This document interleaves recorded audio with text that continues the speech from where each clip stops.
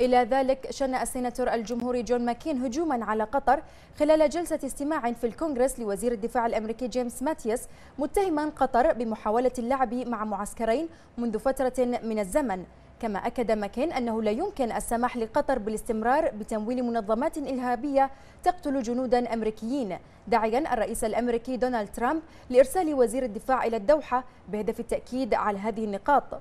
وطلب مكين الدوحة بأنه يتغير سلوكها لافتا إلى أن الكثير سيظهر في المستقبل بشأن الأسباب التي أثارت الأزمة مع الدوحة.